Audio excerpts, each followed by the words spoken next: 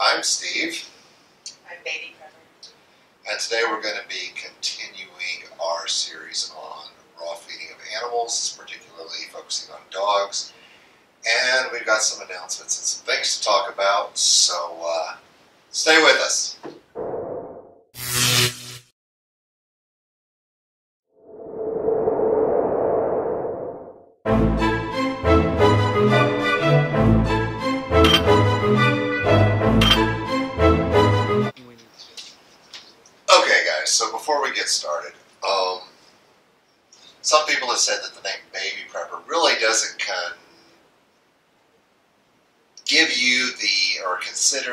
She's got a lot of homesteading skills and a lot of other things that she brings to the table that makes her sound like just someone off the street.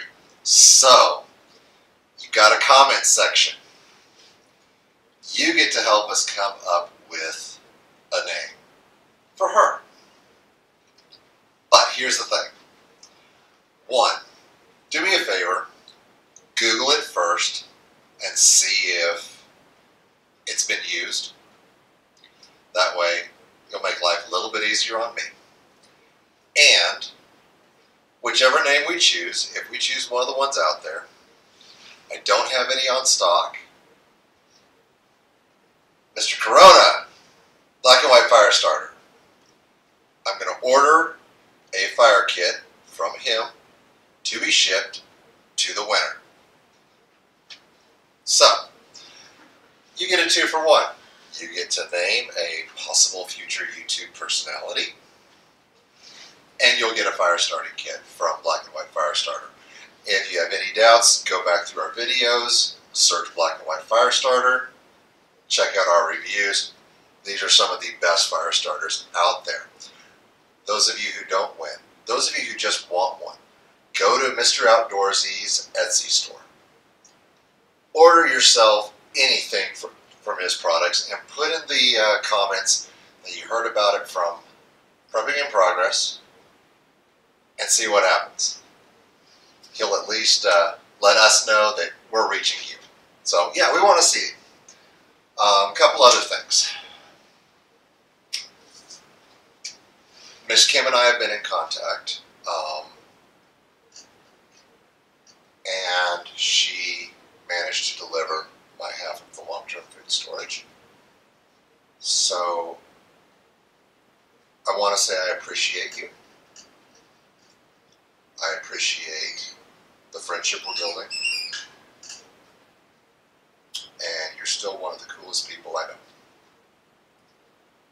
So, uh, I'm grateful to all of you who, throughout all of this, didn't badmouth her. She is a good person. She is a wonderful person. And she's a friend of the channel. Another thing.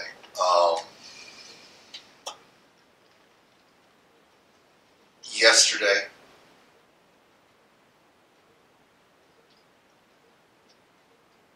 I lost a very dear friend. Um, he fits into the category of my Marines. He didn't call. And now he's no longer with us.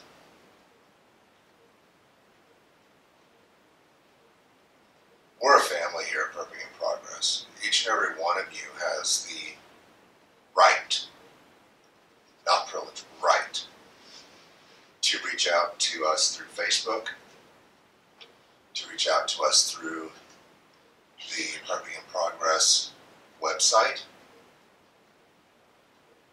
if you're having a rough time. Some of you even have my personal phone number. If you're going through a rough time, reach out. If not to us, there are veterans helplines that are not associated with the VA. And um, they'll do whatever they can to get you the help you need, get you the just an ear if you need to talk. We're a family, and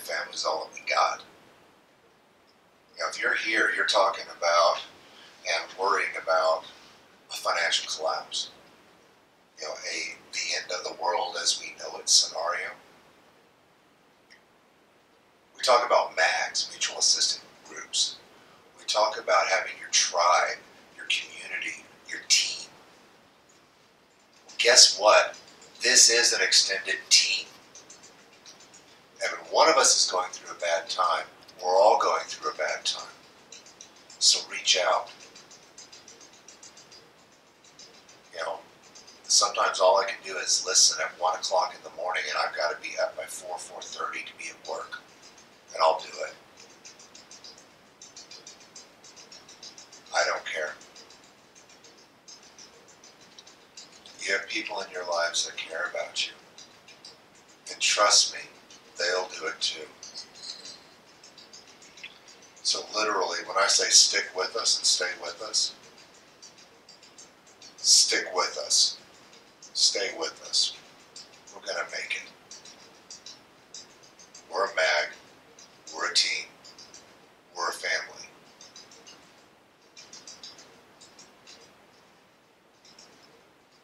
Love you guys. So, I'm going to turn it over to you. Educate me. Fantastic. Well, today we're going to talk about phase one of transitioning your animals. And when I say animals, I'm talking dogs and cats as well. Um, cats have a little bit of a, a different nutritional requirement, talking about taurine uh, for their dietary requirements. Taurine is found in the heart. Um, with us getting started, it's kind of the same thing with cats as it is with dogs, just a little tweaking. And I'm not really a cat person. It's not that I hate them, but I don't have any. so I wouldn't mind a naked cat though. One of those Egyptian sphinxy thingies. yes, Gotcha. preferably with little short legs. Anyway, so you can't jump on the counter. I do have a naked rat though, so that would be a nice little picture. of course, Tessa thinks that. Until the cat eats the rat. No. Well, Tessa wants to eat her. She thinks that she's a piece of chicken. Poor raisin. She's on pickles. Anyway, phase one, um, I'm going to talk about how to feed and what to feed. Um, at, in the transition, the, trans, the phase one should be anywhere between four and six weeks. You want to feed it until you have completely solid stools for at least a week before you transition to the next phase. Um, don't worry about your dog or cat not getting its nutritional requirements. It's the idea of prey model raw is feeding over time, what they need over time. Um, it takes about a week for me to give them all their nutritional requirements. So I have organ days, I have red meat days, I have chicken days. Um, it just depends, and it's it's not you know a cut and dry kind of thing. It, you can play with it. Um, right now, I'm going to talk about what to feed and how to feed. I've got well, I just processed 10 pounds and fed some, so um, I like to go for the chicken leg quarters. Get these 10 pound bags of chicken. Um, it doesn't matter. I, the chicken leg quarter is what you want to feed to start, not just chicken breast or anything. They need that bone. They need everything that's in there. What you want to do to start is remove all the skin. Skin is fat, obviously, and that can cause issues with loose stools until they get used to it. So the idea of transitioning is getting your dogs and cats used to um, a raw diet. So it's very slow. It's almost like when you're switching kibble. You know, you're you slowly increase the new kibble. We're not feeding kibble. So cats, it would be chicken wings because it's smaller. It's got the high bone. You want to remove as much of the skin as possible from those chicken wings. Um, I'm not 100% on how to feed cats raw, but it's very similar. I just know a little bit, so don't take my word for it. And as always, little disclaimer, contact your vet and ask your vet. Don't take my advice, but take it wisely. Everything said on this channel is for entertainment purposes only, and the and products cannot be held liable for anything that goes on with your animals. anyway, so what I would do. Oh, see, Boaz, he knows. Tessa was over here. Oh, she's eyeing me from the couch. Look at the one eye. She's one eye around. I wish you guys could see this. Literally, the commando has crawled up on the couch. The pillow is blocking. She's I've got, got the eye. She's got the scope on the target.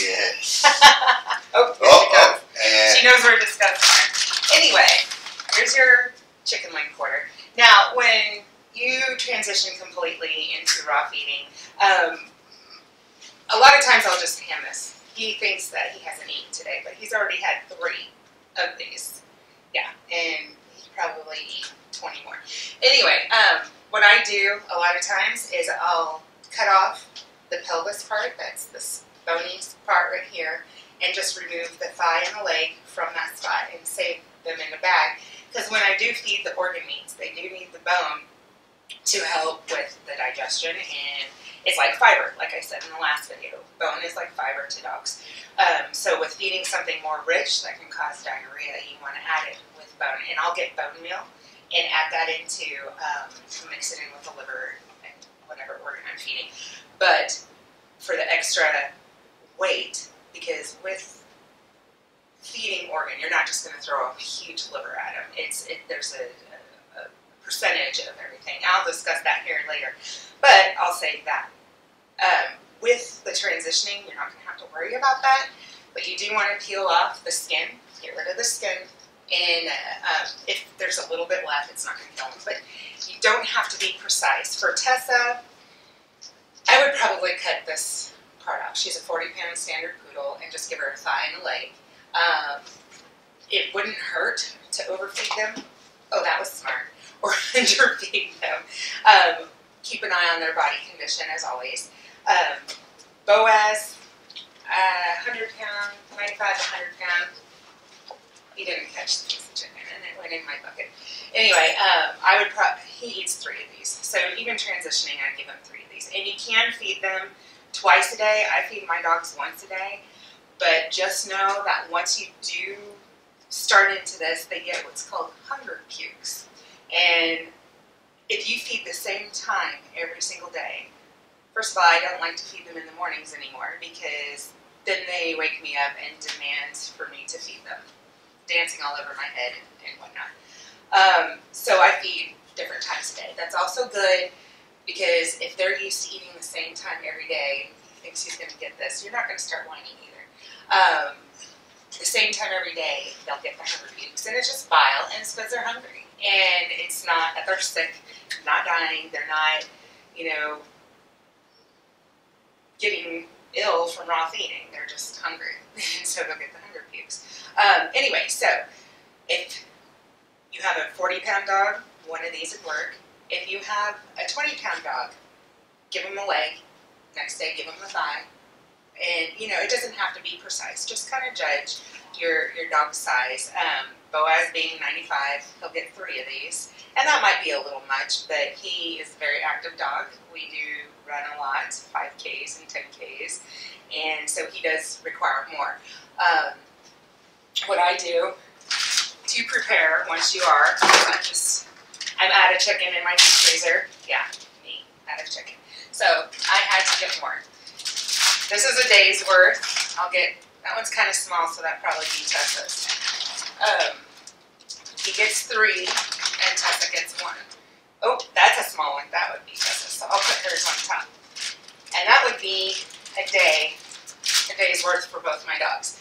And what I'll do is I'll bag these up and just stick them in their deep freezer and rethaw them for another time. Like when I'm feeding, I'll do every whenever I pull food out, I pull out probably one day of organ meat, red meat, and two chickens. And I'll feed chicken every other day just because Mr. Pig here, and it's just, and I, you know, you just play with it.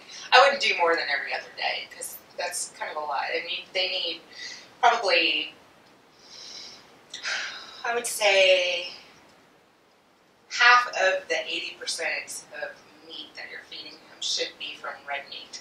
Um, we eventually will get into uh, a variety. They need to have three to four proteins over time every day. So I'll get pork, I'll get you know, deer, uh, whatever I can source. If I can get a hold of a rabbit, if I can get a hold of a duck, if I can, you know, anything. I've been known to pick up roadkill and butcher it in my yard. My neighbors that.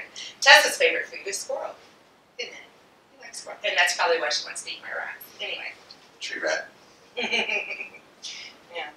Um, so, feeding them to start, we're talking four to six weeks of just chicken leg quarters without skin. Um, after that, our next video will transition to phase two, and it really is not hard. Phase two, through the rest of the phases, is pretty similar, just adding different proteins. Um, we'll get into that more in the next video, just because we want to make more videos for you. Um, And this is a lot of information. it is a lot of information, so we're cutting it down. Um, I took notes, so I'm going to read from my notes too. Um, for the how much, I really with Boaz don't weigh it out. Yes, I'm talking about you. I don't weigh it out for him. Um, I just watch his. I just eye it. Tessa, being 40 pounds and retired from service dog work, and not running with me as much, being eight years old, I'm a little more strict on weights. I use a food scale and a bowl to weigh out her foods. Um, she eats right at one pound a day, so I'll get the 16 ounces uh, in there, and I'll let it go over a little bit, under a little bit. You know, it's not really cut and dry. Like I have to feed right at one pound. That's too stressful. Don't worry about it. Um, but uh, the ratio of what Prey Model Raw feeds is 80% meat, 10% bone, and 10% organ. 5% of, so half of the 10%, which is 5%, has to be liver. Um, liver has a lot of nutrients, a lot of vitamins, vitamin A, vitamins, uh, just every, a lot of things that they need. So 5% of what they're eating has got to be liver. Organ meats, we're talking uh, brain, um, sweetbreads is brain too, but it, organ meats is secreting organs. So kidney, um, spleen, liver. What else do I like to eat? Heart. Well, heart would be taurine. So yeah, that wouldn't. It's not a secreting, that, but that is important. Heart is important. Yes, said kidney. Those are the main ones I feed. Spleen. Spleen gives Tessa what I call spleen farts. They are not pleasant. And we're gonna have to fight over the brains because if you bring home something with a skin, I can use the brain for tanning. I know. Well, I would do it. But brain, when I mix it with the bone, makes me gag. I don't know what it is. I have a strong stomach, but I'm like, just the texture. Like, is it jello? Is it brain? I don't know. It's freaking nasty. Anyway, so 80% has to be meat. We're shooting for 40% of what you're feeding to be a red meat. Uh, the rest can be fish. Oily fish is really good. If you can't get a hold of oily fish, my dogs don't really eat fish. I threw a fish head at Boaz and he dropped it and was like, what in the world? I don't know, whatever. So, with that, if they won't eat that, um, you see, omega 3s with vitamin E is a good supplement to give them. Um, I, I try to stay away from supplements. He has had kind of flaky skin lately, so I've upped his eggs and been giving him a little bit of coconut oil. Um, yeah, you look guilty. anyway, so 80, 10, 10. 10, the last 10, okay, middle 10 is bone. And like I said in the last video, it depends on your animals. So you watch your stools. If your stools are still a little soft, you want to increase the bone. You can get bone meal from the butcher. Just ask them for the bone meal. Just get bone dust from cutting bone and meat and such like that. They they'll give it to you. Um, I get some from Big Dan's Trucking. One of my sources. I love them. I don't like sharing that because sometimes they run out of things because there's so many people ordering from them. So that's my little secret right there. Big Dan's Trucking. It is a pain, but when you're struggling to get variety, it's good to have them. Uh, they'll sell the uh, bone meal in big 10 gallon or 10 pound bags, and I'll just dusting in there, but I get a few things from them. Now, are they a local source or? They are not, so I do have to ship. And in the summertime, I have to purchase. Everybody does a big insulated box that they ship it all to, and it still comes frozen. I'm like, no, you don't understand. I want it thawed when it gets here so I can process it. I don't like to throw it in my deep freezer and not have it process my OCD. I just want it done so I can it's sitting on me. Okay, good. Um, yeah, so Big Dan's Trucking. They don't know that I'm promoting them, but here you go. Anyway, so the amounts to feed, take your dog's weight and multiply it by 2 to 3%.